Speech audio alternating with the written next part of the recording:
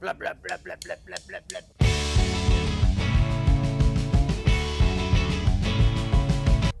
No! No!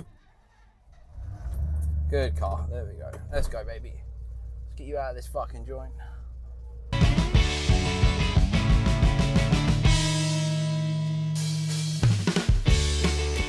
You may be thinking, Adam, what are you doing? Well, you should have watched the last video, then you'd know. But today, we're doing a modification to my BMW M3. Let's go, baby!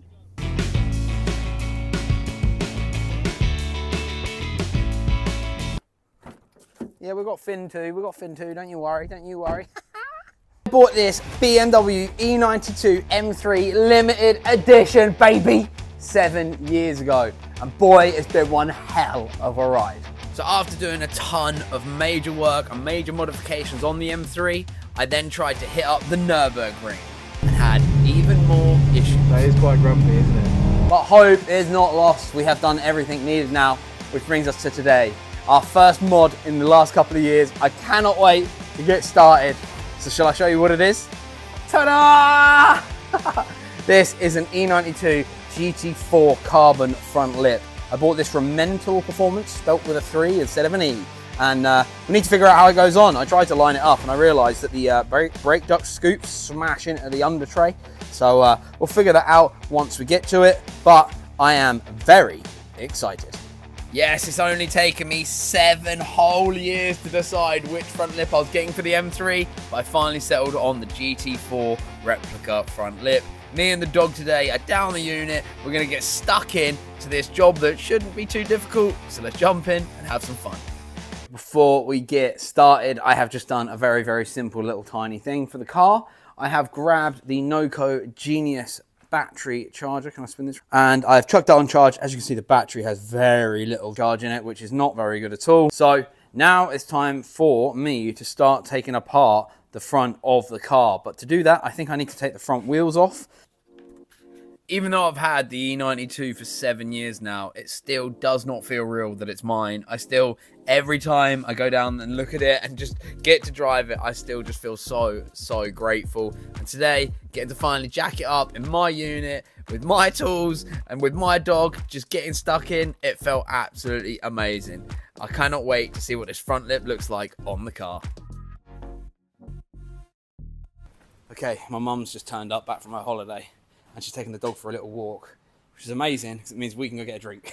I am so thirsty, but funnily enough, the only car that is currently not up in the air, or I mean, like, that this is not MOT'd or anything, is this. So do we risk taking the Chevy to the garage and it not starting? I say yes. She started first time! On, the Chevy! I don't think there's any point wearing a seatbelt in this vehicle. Um, you're gonna fold like a fucking tuna can, ain't ya? While we're still on our bit of land, I'm gonna show you something, right? Watch the steering wheel. I'm still going in a straight line. Still going in a straight line. what a fun little treat to start the start the video. yes, fuck yeah, this is gangster. What the fuel's like? It's got very low fuel.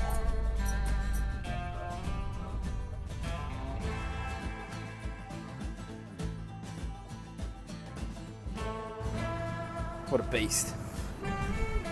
All right, let's go back and actually uh, do some work on the car. I've done so far absolutely nothing. Please start, please start. First time, baby. First time. 64 year old. She's a goer, baby. She's a goer.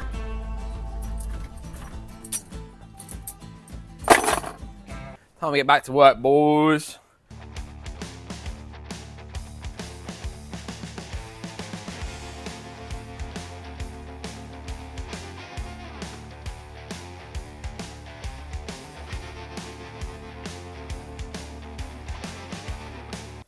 Wow, look at that. They have rusted so bad and the car has barely been used.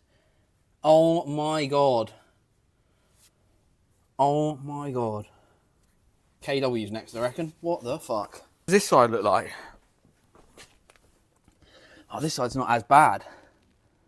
Wow, that's crazy. Anyway, there's the uh, drop links that I had fitted, which is uh, stop the noise, which is great. Wow, the other side's so bad. I might have to take them off. Give him a good old rush treatment, man. Damn. Right, boys, we're about to crack on. I needed to get this out of the Chev. Dad, I rang Dad. I was like, you got a radio down here? I want to listen to the football because we're going to miss the Arsenal game. Boo! Come on, the Arsenal! So I'm hoping that you'll pick me up better than the radio, obviously. But I'm going to be honest, being down here on my own is so boring. I didn't want to have to just sit down and knowing the football was on, I didn't want to like half-ass this. So let's just crack on. Can listen to my football team win the league this season. So inside of this arch, there's a lot of little eight mil bolts that I'm going to remove. There's already one missing there, which is kind of a concern, but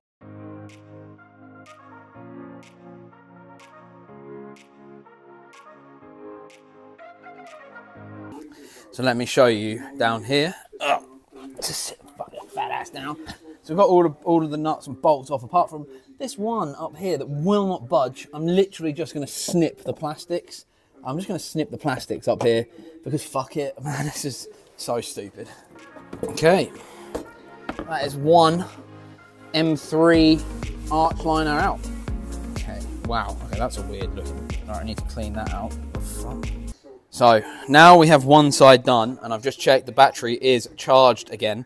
I actually need to put something else on charge and uh, it's probably not what you're expecting. So let's go get it. yes, come on Pierre, come on Pierre. Da, da, da, da, da, da.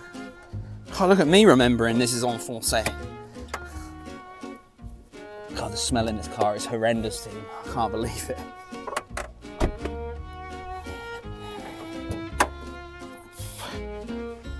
Forgot I did put a new battery in this. Where's the fucking the bonnet thing in this bad boy? So we should hopefully get some juice. Come on, Pierre. I know you've got this in you, baby. Or not. You're green. I've got nothing. My man. My friend. Oh. We'll have to come over and get the battery out. We'll go back to Pierre in a little bit, but first we've got to get stuck into this M3 because I've been making excuses all day not to do this, so let's get back to it. Oh, well, there we go. Ta-da!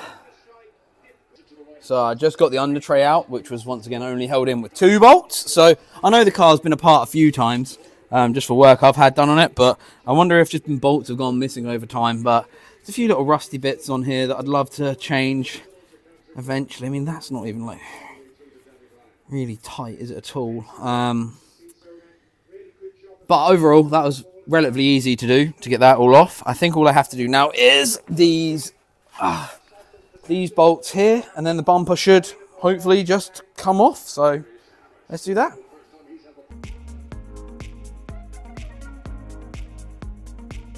Oh, that's not even attached. Okay, that's cool. Ah, what have I forgot to do here then?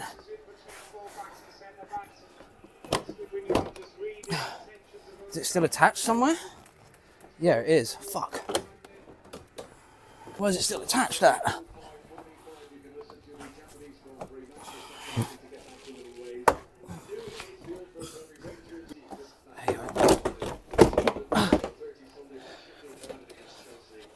Oh, ah, it is attached. What the fuck is that?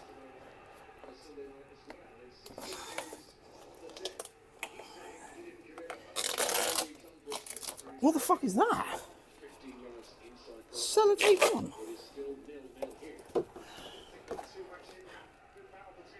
What is that? That's odd.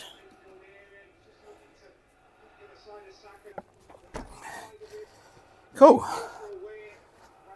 How very bizarre. So I'm not quite sure what this is. This is attached behind my number plate. Um, but it has got a part number, so I'm going to Google it and see what comes up. Let's have a look. I'll let you guys know.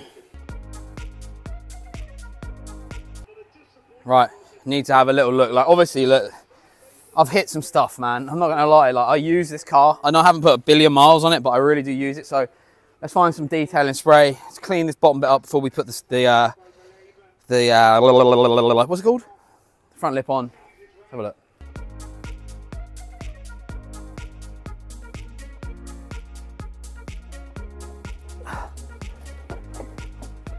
There we go, it's gonna have to sit level with that. Okay, there we go.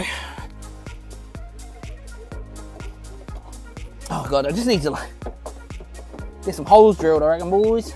Okay, so how I think I'm gonna have to do this is lay it upside down and then try and like place it in position, draw some of the initial holes to get it to line up. Obviously this is not OEM, so this is a replica. Still 700 quid. But there's no real fitting guides or anything, so I don't know whether I just need to like send it.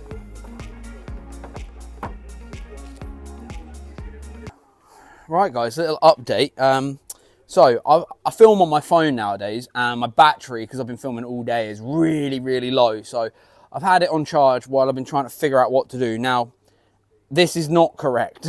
um, it's made me really anxious. But what I've tried to do is put a couple of markers down to get this like in line. Now, I feel like if I can just get one bolted in, I can then sort the rest out. Now, I can't tell where the right position is for it. Um, I think it should be about there, but obviously I'm very nervous to drill this because it's an M3 bumper in the mineral white. And now anybody that knows that, that's a very expensive color to replicate. um, so if I fuck this up, this is gonna be bad. I think it needs to go there. If I can get the pen, I'm gonna draw another dot. I'm using a purple Sharpie. Now, if I can just get the two center bolts to where I think it needs to go. I'm to be honest, the fitment of this fucking thing's pretty crap, especially for how much money I paid.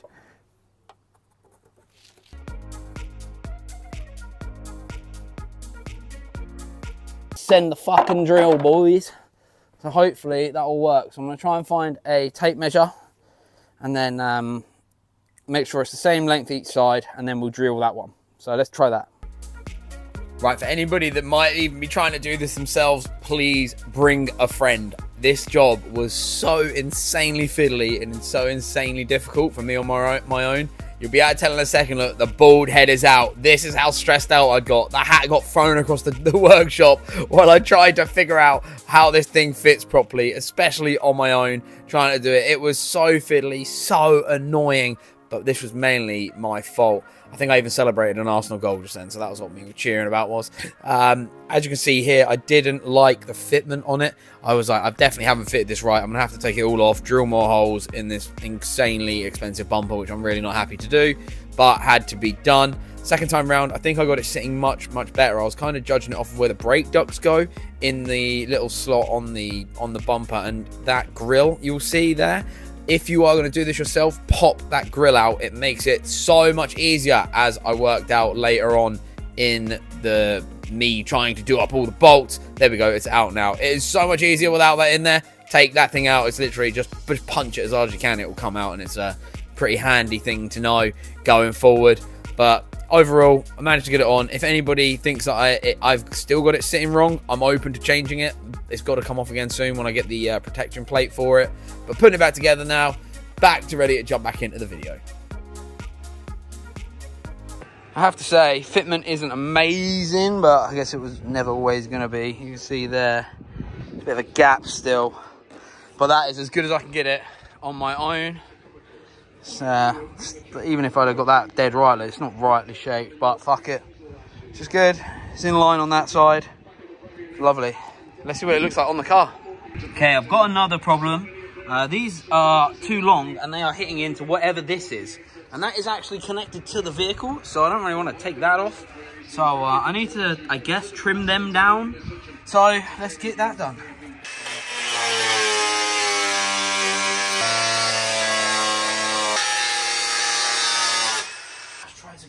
Scratching everything. Why is this so difficult as well, by the way? Boys. Ah Fin! Fuck off man! What are you doing? Sit on my head!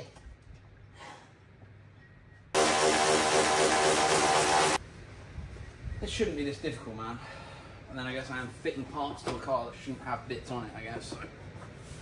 That is like perfect. That sort of works. We just force the bastard. What is that from? I didn't do.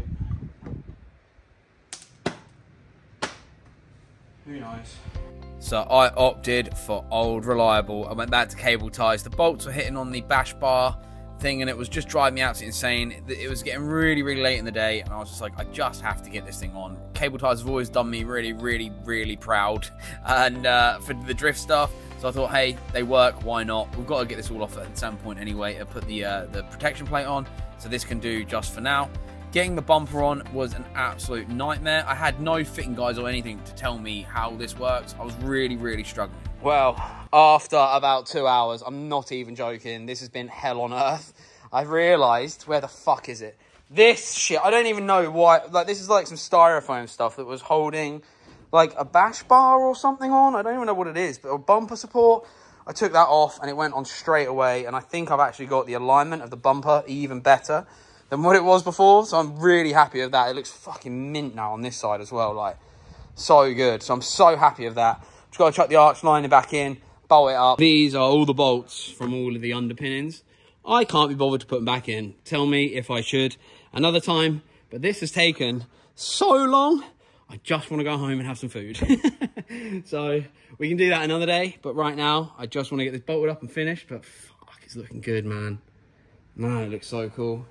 I can't wait to see it on the floor. I'm going to redo that on the other side, and I'll catch you guys in a minute. I guess we are always chasing the end result. I have to say, it's been a long time since I've just been down the garage doing work on my cars, and I really enjoyed the journey today. Having the radio on, getting to hang out with the dog, and now getting to show you guys my first look at the M3 with its first bit of carbon fibre. Oh, come on, man. Oh, that looks absolutely fucking nuts, dude. Oh, oh my god, I'm so happy. Oh, it looks so nice. Fin, dude. Today's been really tough, man. but it's been so good. Lots of problem solving on the job. It's been absolutely amazing. I think I've even got the bumper fitment even better than it was before, which I'm stoked about, by the way. The only downside is I haven't got the under trays on. Um, but I don't even know if they fit with this. So I need to figure some stuff out. I need to have a little look online, see what other people have done who have put this lip on this car. I know it's a popular one for it, so it shouldn't be too difficult to get some answers. But what do you guys think down below? I'm sorry I can't pull it outside and show you. it's so dark. Um, it's taken way longer than I thought. I've just got to do the last couple of jobs now, tighten the wheels up, and then um, tidy up a little bit, get Dad Chevy back in. But I hope you've enjoyed and I hope you'll hit subscribe. This has been so much fun being back in the garage again, working on my car, on one of my cars I don't even get, really get to enjoy. So uh, hopefully we can get a road trip in the diary for this very soon. So let me know where you'd take it or where you'd like to see it or anything. I don't know. Like I want to just drive this car everywhere, especially now with the front lip. Oh, let's also in the comments take bets on how long it's going to last. anyway, I want to say thank you if you've made it right to the end of the video. I really appreciate it. And the Patreon and members of the YouTube channel, thank you so much. Uh, while I'm away, I'm going to be giving you little, little tiny videos updating while I'm out there. It's going to be a lot of fun seeing what I can see over there. And uh, yeah, I can't wait to uh, get stuck into some more builds. We've got enough going on here now, and uh, I've kind of found my, my confidence again on the spanner. So I'm really looking forward to jumping into more. Right, I better start tidying up and going home and getting myself some dinner because I am starving. Thank you very much, guys. And if you leave a fat like on the video, check out 621.com and I'll see you again very, very soon. Mwah.